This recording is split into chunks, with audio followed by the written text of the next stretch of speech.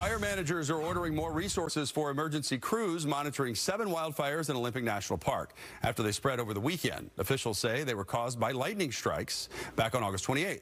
The fires include one in the Hurricane Ridge area, another in the Delabarre Creek area, which is the largest. Officials say that fire went from one acre last week to an estimated 1,500 acres by Sunday.